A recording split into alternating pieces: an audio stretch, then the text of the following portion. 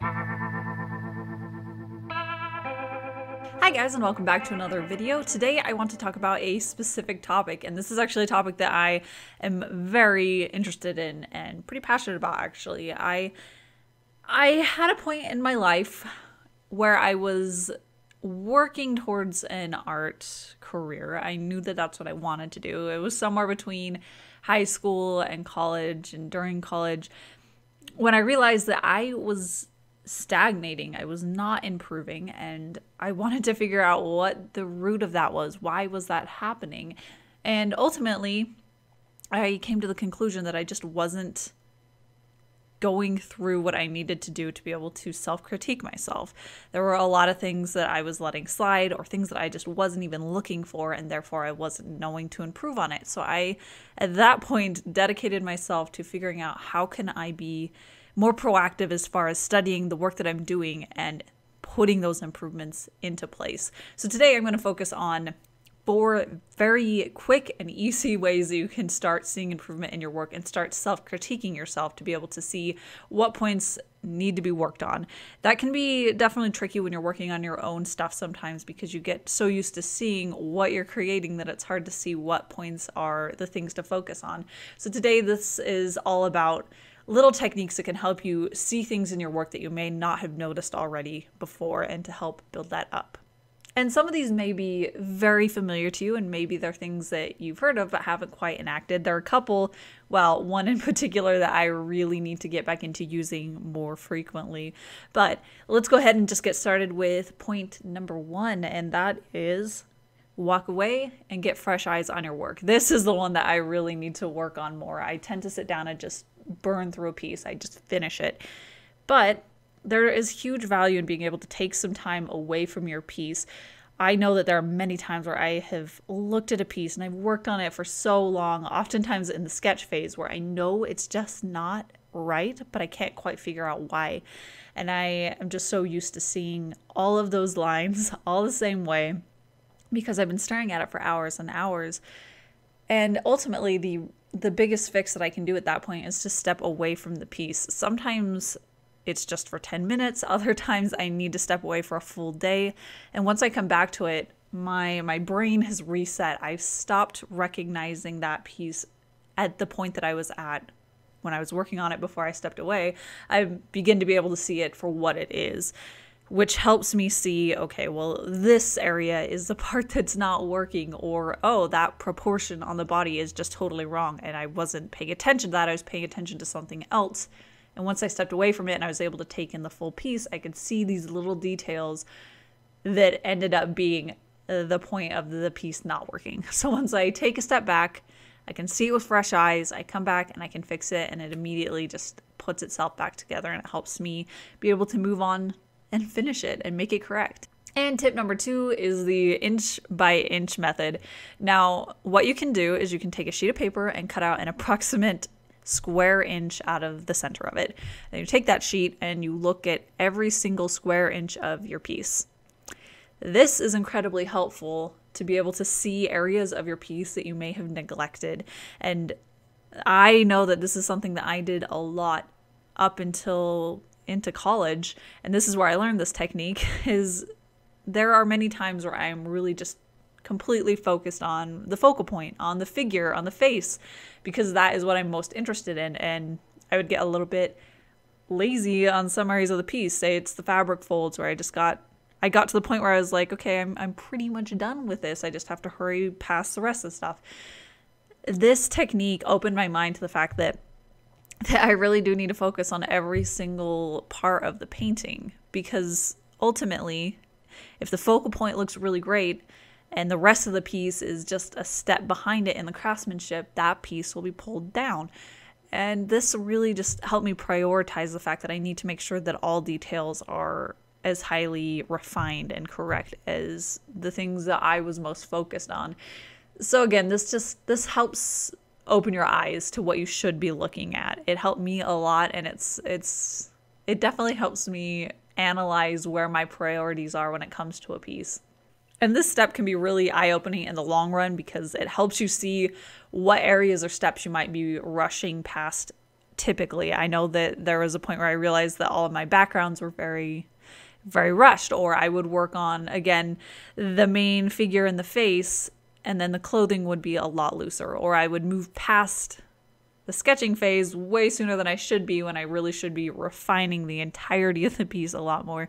So it does just help you see different details that you're not prioritizing that ultimately you may want to. And when I say refined, I don't necessarily mean highly detailed because that is 100% a personal choice. A lot of paintings will have it where the things that are closer to the to the viewer are much more refined and then things as they get farther away they become more impressionistic and less sharply detailed. And again that's just realistic. That's the way that things can be. So really when i say refined i just mean the time is put in to make sure that it is correct and that the the details and everything that needs to be there are there and that you've given it all the time that it needs. And tip number three this is again a very common one. It's one that I'd like to use more of, but it is probably one of the most common ones that I do use. I just need to remember to make it happen more often. But this is the mirror flip. So if you're looking, well, if you're working traditionally, you can hold your piece up to a mirror and it'll instantly make it look different. Your brain will stop seeing it the way that it thinks it looks like and you'll be able to see what it actually looks like. You'll see the errors and the things that can be fixed. Now, if you're working digitally, you can do the horizontal canvas flip. It'll flip it over so that basically it's the same effect. It's like you're looking at it through a mirror. And this is so helpful to be able to see those errors that you you have a feeling something's wrong but you can't quite pinpoint what it is. This is very helpful in anatomy particularly. I know that when I draw, I almost always end up drawing the foreshortened eye. So if it's at a three quarter angle, one of the eye is foreshortened. I almost always draw it too small and too low. And I'll look at the face and I know that something's just not quite, it's not quite there. It's not quite right. But I'm not able to see what it actually is because I'm so used to seeing faces that way because I always draw them that way. So once I flip the canvas, boom, it just instantly, I can clearly see that the eyes are no longer straight and they're not symmetrical. And it's actually really, it's kind of a really cool effect when it's something that's, that's like that, that I know is off. And once you see it, it immediately it's obvious it's apparent when just a second ago you didn't see it anymore it's almost like a magic trick but but this is this is something that i try to do pretty frequently when I am working, especially digitally, where I'll just flip it back and forth every once in a while to make sure that that it is getting as accurate as possible. This is definitely very helpful when you are sketching to make sure that the bones of your piece are as accurate as possible all along the way. And for the final tip, tip number four, this one is a little bit more long term than the others, but it's probably the one that has been the most influential for me improving my work. So if you watch much of my videos, you'll notice that I do try to make a point of pointing out the the issues that I had with the piece, the things that I struggled with, as well as the positives. I don't usually list every single con and every single positive because there's there's a lot more on my list for that. But at the end of each piece, I I usually try to write them down or it might be a mental list, but I will write down the pros of the piece, things that I thought I really improved on, things that I really enjoyed, things that worked well in that piece. And I also have a column that has all the cons, things that I really struggled with, or things that I felt like I was never able to actually successfully correct or fix. And this has been extremely beneficial for me because I'm able to keep track of what things do I want to try to fix? What things am I happy with? What things are a big issue and a concurring issue? so a lot of times after I've done a piece, especially one where I've really struggled with it, so say I've really had a hard time with the composition and in the end it was just it never got quite right. I knew it was just never right. And that's in my con list.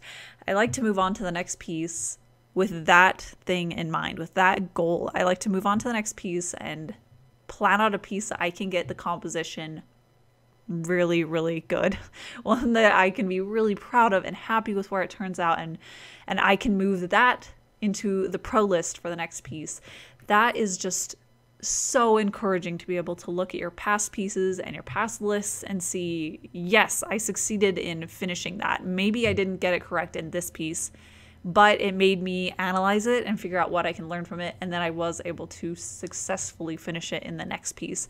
This is just, it built a habit of me being able to look at each piece and see the cons as a positive because it's the next step. It's the thing that I get to focus on next and I get to achieve it in my next one. Now there are some things that that take a lot more time and end up being on my con list or to work on list for a lot of my pieces. So a little while ago I realized that I wanted my faces to be a little bit more accurately proportioned. I wanted to be able to reference more realistic planes in the faces. So that was something that was on my con list for a few months actually where I was really I was focusing it on each piece and I knew that I hadn't quite gotten it there yet. So it was always on the back of my mind and it was always on that list for me to pay attention to. And that is why it's just so helpful is that it can be really short-term goals that you can immediately fix and you can get that that rush of being able to accomplish something that you really struggled with, but it also helps you keep track of your long-term goals as well. And that's it for today. I do have a link down in the description that'll take you to every single tool that I used today to create these two pieces. And I also have a link that'll take you to my art shop, and that's where you can get prints of these two available. The originals already do have a home, but if you'd like to own a print, again, those are down there. And yeah, I think that is about it for today. I will be back next week with another video with more art, so stay tuned for that. And thank you guys so much for watching. I'll see you next time.